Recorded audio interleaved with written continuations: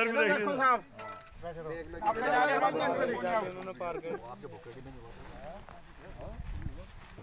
वो पोस्टमार्टम का एक का या दो का जिसका पोस्टमार्टम होगा जो कारण आया होगा सबके साथ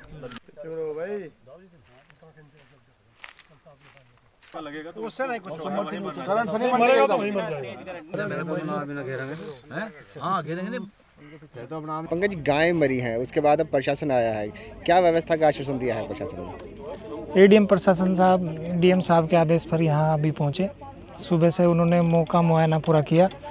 जो गायें के सब इधर उधर थे उन्होंने जेसीबी मशीन के द्वारा उन्होंने गड्ढों में दबवाया फिर उसके बाद जो अवैध भूमि पर जो गेहूँ उपजाए गए, वहाँ पे उन्होंने मौके जो दो लोग पकड़े।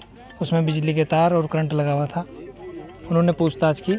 उसमें आठ दस लोगों के नाम उन्होंने नोट किए हैं, जिन्होंने अवैध कब्जा करके वहाँ ज़मीन पे किया हुआ था। क्या लगता है समस्या हल हो जाएगी? अभी उन्होंने रेंजर साहब से बात की है कि ये नहरवई की ज़मीन है सिंचाई विभाग की ज़मीन है और वन विभाग और उनकी दोनों की संयुक्त टीम गठित करके उन्होंने आश्वासन दिया कि डीएम साहब के संरक्षण में ये टीम जल्द गठित करके इसका समाधान किया जाएगा। कॉज ऑफ़ डेथ क्या रहा है मरने का कारण क्या? यहाँ भूमाफियाओं की कोशिश ये है कि जितने भी गोचर हैं जो यहाँ चराने वाले हैं गोवा गौशाला वाले इनकी गाय यहाँ से हट जाए और ये ज़मीन पर में भूमि पर गन्ना या गेहूँ उपज सके। उनका कारण ये है कि वो जहर देकर करंट लगाकर यहाँ से इन्हें निकालने मार दें। कितने गाय मर चुकी होंगी लगभग? तीन दिन में। तीन क्या लगभग? पिछले पाँच दिनों में 200 के लगभग का आंकड़ा है।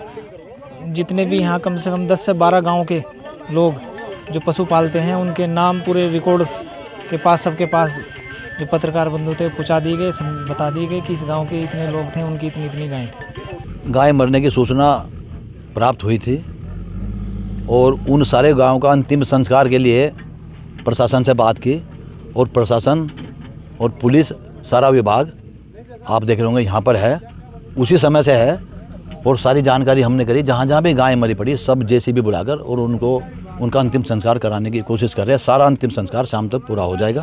कॉज ऑफ़ डेथ मौत के कारण क्या? मौत के कारण के लिए अभी डॉक्टर से बात हुई पोस्टमार्टम किया और जो भी कारण रहा होगा उस कारण के लिए अभी एडीएम साहब आए एसडीएम साहब आए वो अपनी जाँच कर रहे हैं और जाँच में जो भी दोषी पाया जाएगा मेरा तो ये कहना आपके माध्यम से भी और मैं भी पूरी कोशिश करूँगा कि अगर कुछ कारण ऐसा रहा कि जानबूझकर इन्हें मारा गया तो उन्हें दंड दिया जाएगा और दंड दिलवा के रहेंगे। सरकार गौ सेवा गौ रक्षा की बात करती है लेकिन बहुत सारी गायें लास्ट मंथ मरी हैं खासतौर से अपने जनपद में। क्या कहेंगे आप? सरकार ने गौ सेवा का किया जैसे कहा गया कि गौ को लावारिस ना छोड़ो।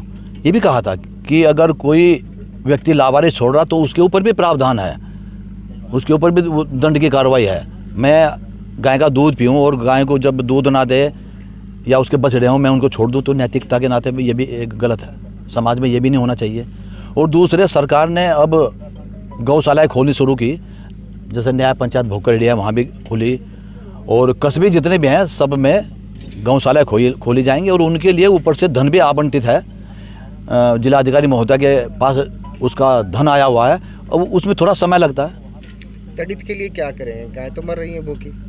गाय भूखी के लिए कहा गया, जहाँ जहाँ भी हमने गौशाला खोली, जैसे कि आप गए होंगे खाईखेड़ा। खाईखेड़ा में गाय आई, लेकिन तब तक उनके लिए राशन नहीं आया था। एच साहब से बात की तो उन्होंने तुरंत शाम तक वो राशन की व्यवस्था की, ऊपर सेट की व्यवस्था की, और उनके लिए वहाँ व्यवस्था होगी। ऐसे ही हर गाँव में, हर नए पंचायत पर, हर नगर पालिका में सब जगह ये व्यवस्थाएँ होंगी। कोई भी अब आने वाले दस पंद्रह दिन के अंदर अंदर कोई भी गाय आपको लावारिस दिखाई नहीं देगी। भूमाफियाओं का कहना है कि जो भाजपा के जिला अध्यक्ष हैं उनकी सह पर ये भू- गेहूँ बोया गया। क्या कहोगे आप? ऐसा तो मुझे नहीं लगता। भाजपा का जिलाध्यक्ष ऐसा कुछ कहेगा। मुझे इसकी जानकारी नहीं भी नहीं है कि जि- जिलाध्यक्ष ने ऐसा कहा होगा कि हम भू माफियाओं का समर्थन नहीं करते। भारतीय जनता पार्टी का कोई भी छोटा से लेकर कार्यकर्ता बड़े तक ना तो वो भूमाफिया है और ना वो उनका समर्थन करता। ना गलत करता और ना गलत बात का समर्थन करता। और करना भी नहीं चाहिए। जिन ने गेहूँ बोए रखा है उनके खिलाफ क्या कार्रवाई बिल्कुल कार्रवाई होनी चाहिए। पर एडीएम साहब एच साहब यहाँ आए हुए सारे अधिकारी सीओ साहब खड़े सारे देख के आए। और जिन्होंने भी बो रखे ये हसनापुर वन अभ्यारण्य क्षेत्र है।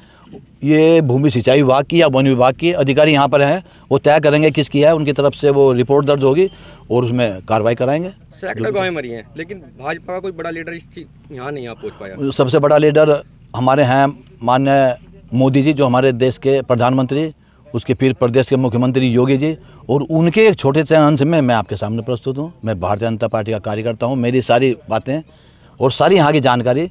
तुरंत मुख्यमंत्री तक पहुँचेंगे जितने भी विधायक हैं और सांसद नहीं आए।